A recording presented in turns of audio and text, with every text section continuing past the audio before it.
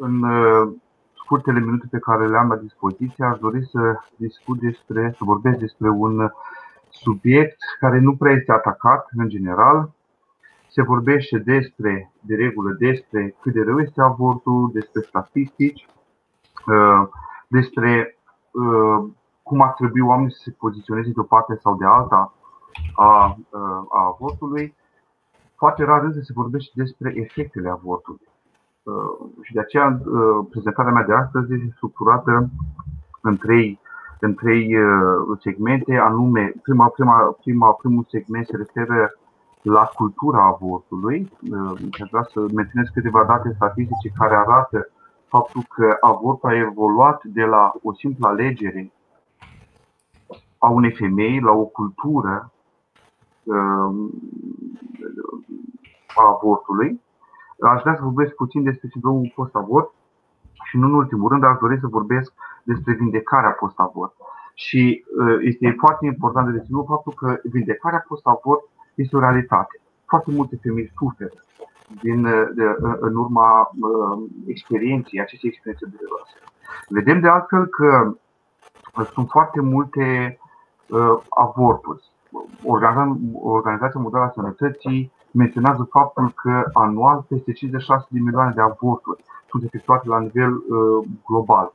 Iar dacă ne gândim în perspectivă istorică, în ultimii 100 de ani există o estimare ce spune că peste un miliard de copii au perit în avort. Evident, România este parte integrantă din această estimare pentru că este bine știut faptul că în ultimii 50 de ani peste 20 uh, de milioane de români au fost avortați.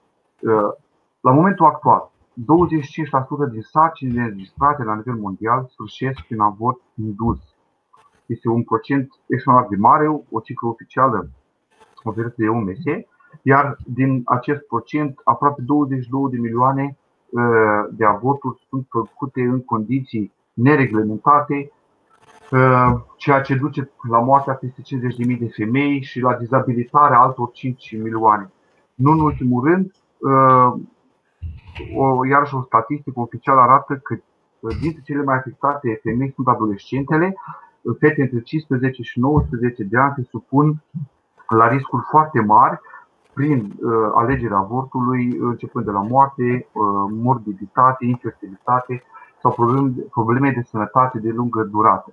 Anual, uh, aproape 6 milioane de adolescente fac avort, uh, dintre care 4 milioane în condiții proprii, uh, cauzate de frică sau pur și simplu de sistemul sanitar sau legislativ din țara din care fac parte. Este o cultură, vedem foarte multă lume, foarte multă lume alege această cale a avortului, iar la aceste date statistice se adaugă efortul instituțiilor Um, organismelor internaționale, instituțiilor care reglementează diferite zone uh, uh, de acțiune medicală, drepturile omului, um, instituții care încearcă să aducă o uniformizare procedurală în ceea ce privește avortul, cel puțin în țările dezvoltate uh, sau cele aflate în curs de dezvoltare. Astfel încât dacă veți studia și nu avem timpul necesar să detaliem acum, dacă veți studia uh, documente oficiale uh, emise de Organizația Mondială a Sănătății, veți vedea că există o, un limbaj specific uh, legat de avort. Practic este un semn puternic al faptului că se dorește impunerea unei culturi a avort. Deci, pe lângă statistic, avem și acea, acest limbaj, această etimologie, acest vocabular care se folosește în lumea avortului și care, în general, exclude cuvinte care uh, produc emoții. Copil, mamă, tată, sarcină chiar, foarte rar se folosește sarcină, uh, au fost inventați tot felul de termeni care ascund, practic, uh, realitatea avortului. Este foarte interesant un lucru. Dacă ne gândim, uh, cum spuneau uh, în mai acum poate câțiva ani, 10-20 de ani, uh, oamenii, în special în zona rurală și chiar și astăzi zona rurală este folosit acest termen, uh, se, se, se referea oamenii la vot ca la lepădare. Părinte, am lepădat copilul. Este, are o semnificație mult mai apropiată de realitatea actului. Păi vedeți, cuvântul avort deja este un cuvânt rece care nu exprimă nimic, ci noi, prin context cultural, îi oferim o semnificație. El în sine nu înseamnă nimic. Înseamnă toate că a abandonat, dar distanța este prea mare. Ori inclusiv acest fapt că se trece, se încearcă să se mascheze realitatea uh, acestui act cu anumite cuvinte neutre și care încearcă să, uh, să nu deranjeze conștiința pacientului, mamei care dorește să facă uh, avort, este o dovadă că trăim într-o cultură a avort. Foarte important este această idee. De ce? Pentru că uh, ne arată gravitatea problemei. Așa cum spuneam la început, nu este doar nu, avortul nu mai este o simplă alegere ci este practic o cultură care te îndeamnă la un anumit mod uh, de viață. Desigur, această cultură are în spate această cultură a sexualității, oamenii trec sexualitatea separat de procesul nașterii de copii, fapt care duce la astfel de rezultate, sarcine dorite, BTS-uri și așa mai departe. Bun, deci avem cultura avortului pe de o parte. Pe de altă parte, uh, avem acest sindrom post-avort. Interesant este că Sindromul post-avort nu există din punct de vedere științific. Nici o instituție, nici o, uh, orga, niciun organism internațional, niciun tratat de medicină nu uh, stipulează acest sindrom, sindromul post-avort. El de regulă este asociat sindromului de stres post-traumatic. Uh, și asta, aceasta de ce? Pentru că practica a arătat că femei care trec prin avort experimentează diverse uh, simptome. Uh, și atunci, simptomele uh, acestea sunt similare uh, simptomului post-traumatic. O femeie care își omoară copilul prin avort uh, are, uh, are simptome asemănătoare unui soldat care s-a întors de pe, uh, de pe front, spre exemplu. Adică risc de depresie foarte mare, anxietate, probleme cu somnul referindu-ne doar la uh, efectele de ordin uh, psihologic sau subțetesc. Uh, de asta este important, zic, zicem noi, să identificăm mai întâi elementul de cultură a votului pentru a stimula prin diverse uh, instrumente, inclusiv poate primașul pentru viață, recunoașterea acestui sindrom. Este esențial lucru, este esențial lucru. Desigur, dacă ar apărea acest sindrom, avortul nu ar mai fi o politică culturală promovată de anumite organisme internaționale.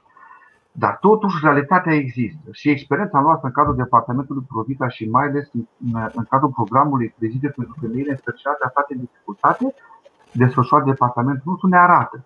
Sunt femei și de regulă și studiile de specialitate arată că uh, la o distanță de minim 6-7 ani, de regulă în jur de 10 ani, Ă, femeia are curajul să recunoască toate simptomele ca fiind cauzate de experiența votului pe care a trecut. De altfel, sunt câteva statistici foarte interesante, ele sunt foarte multe, pentru că deși acest sindrom nu este recunoscut de punct de vedere științific, totuși s-au desfășurat nenumărate, sunt zeci și sute de studii de la universități serioase pe acest subiect. Și sunt statistici care spun așa, rată de deces de 3,5 ori mai mare în cazul persoanelor care trec prin experiența avortului. Un risc de 30% mai mare de a experimenta probleme de sănătate mentală după avort. Ehm, sau risc dublu de a experimenta probleme de somn. Ehm, o aplicare spre violență domestică, probleme de relație, 80% din cuplurile care trec prin avort ehm, se despart este o statistică uh, bine cunoscută. Uh, experiența avortului uh, aduce o predispoziție pentru consumul de tutun, alcool, droguri, um, inclusiv în timpul sarcinilor ulterioare și așa mai departe. Sunt foarte multe statistici care arată că, de fapt, avortul produce destul de mult rău la nivel psihic și sufletesc în zona interioară.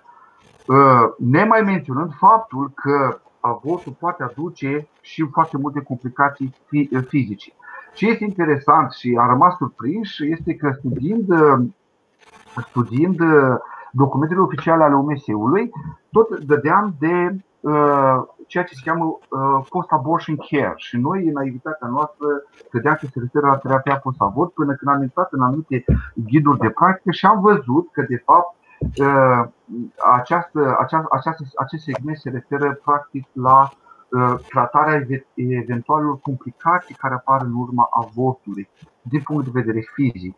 Nici o mențiune aproape deloc despre starea emoțională a pacientului, așa încât complicațiile fizice și riscurile sunt destul de mari, începând de la infertilitate până la ruperea, uh, ruperea accidentală a arteriei uh, uterine, uh, pierdere de sânge care necesită transfuzii și așa mai departe. Sunt efecte care sunt experimentate, dacă nu de toate, măcar de o bună parte din persoanele care trec prin, prin această experiență. Desigur, avortul are un efect și pe plan economic, e clar și pe termen mediu și lung în principal. Deci, pe de o parte, avem o cultură a avortului, pe de, pe de o parte, avem acest sindrom, aceste simptome pe care femeile care trec prin experiența avortului le trăiesc și caută o salvare, caută o ieșire, este firesc când simți accidentate, când simți vină, când simți neodihnă sufletească, cauți o salvare. Și atunci, uh, partea a treia a prezentării uh, se referă la acest proces de vindecare, uh, iar biserica, și în special biserica ortodoxă, este cum, aș datoare să facă acest lucru din perspectiva faptului că are în vedere mântuirea sufletului, vindecarea sufletului și, de fapt, vindecarea per total a omului, atât din perspectiva sufletului precum și a trupului. Pe scurt, vindecarea, simulta, vindecarea de post-avort este simultană cu acest proces de îndumnezeire la care ne cheamă biserica. Practic, noi trebuie să dobândim Duhul Sfânt prin starea noastră de pocăință, iar o femeie care conștientizează avortul, ceea ce se întâmplă statistic la destul de mulți ani după avort, prima, prima etapă după avort este negarea și justificarea, dar spuneam că la 5, 6, 10 ani femeia conștientizează și își asumă responsabilitatea pentru a fi făcut, iar din acel moment poate începe vindecarea. Iar vindecarea vine prin viața liturgică și prin viața isihastă. Sunt două, două concepte lămurite, în special de Sfântul Grigore Palama, viața liturgică, adică prin participarea la viața bisericii, prin slujbele sale, și prin tainele sale, dar mai ales pe o concentrare puternică pe spovedanie, spovedanie deasă și constantă, iar viața isihasă presupune asumarea canonului pe care ți-l dă duhovnicul tău, ă, coroborat cu rugăciune și cu good deeds, spune, spune literatura de specialitate, adică cu fapte bune. Și aș insista pe acest aspect. De ce? Pentru că uh, nu este suficient doar, doar rugăciunea, canonul, postul și așa mai departe, și el trebuie să aibă cealaltă aripă și anume uh, virtutea contrară păcatului, cum spune Sfântul Siluan Atonit. Adică dacă o femeie a avortat, datoria ei este să depune eforturi pentru a salva alți copii de la avort. La fel cum orice alt păcătos, dacă cineva a furat, de exemplu, datoria este să învețe virtutea milosteniei și așa mai departe. Uh, o recomandare noastră, aceasta este ca departament și închei cu, acest, uh, uh, cu această idee. Recomandarea noastră din experiența de până acum și studiind puțin literatura de specialitate, spune că pe lângă integrarea persoanei în viața liturgică și isihastă, adică printr-o aplicare sufletească pe această probleme, este necesară o integrare în misiunea pro-viață este extraordinar de important și noi recomandăm din tot sufletul doamnelor sau și bărbaților care au trecut alături de doamnele lor în, în această experiență să aibă nădejdea că este vindecare. Nu sunt singuri. Dumnezeu nu urăște păcătosul, Dumnezeu urăște păcatul, ă, Dumnezeu așteaptă întoarcerea oricărui om care este în păcat, că El ne spune de câte ori vei cădea, ridică-te și te vei mântui. Iar, pe de o parte, pocăința aceasta, aplecarea către viața liturgică și viața isihastă sub îndrumarea unui duhovnic, alături de munca provita, în misiunea provita, oferă șansa perfectă pentru orice femeie care dorește să se vindece și să scape de traumele provocate de o greșeală a tinereții. Așa încât oricine dorește ne poate contacta pe pagina de Facebook Provita Iași, prin doxologia, prietenii noștri de la doxologia ne dau de multe ori uh, mesajele dumneavoastră a celor care mai au uh, întrebări legate de zona Provita. Cum e stilul caracteristic, cred că am depășit puțin timpul. Îmi cer iertare față de colegii mei. Bun, părinte, mulțumim frumos. Avem o întrebare. În experiența dumneavoastră de părinte și duhovnic, câte situații de avort, femei care vor să facă avort, ați întâlnit? Cred că sunt două, de fapt. De ce se ajunge la această dureroasă decizie, aceea de a avorta? Păi, aș începe cu a doua. Motivele sunt multe. De la cele financiare, cele care țin de locuința proprie, relația cu soțul și așa mai departe. Cariera, motivele sunt diverse. Câte persoane sunt, atâtea motive sunt. Dar, în principal, orice femeie avortează pentru că nu are un bărbat alături de ea care să o încurajeze. De experiența noastră am dat seama că o femeie nu are nevoie de kilograme de aur ca să nu avorteze. Pentru că ea știe că nu face un lucru bun, deși se simte nevoită și simte o presiune sufletească. Dar dacă ar avea lângă ea un bărbat, o inimă caldă și puternică, femeia ar putea duce mai departe cu ușurință. Nu are nevoie de kilograme de aur, dar are nevoie de, o minim, de un minim interes din, din, din partea bărbatului, de acel sentiment de siguranță.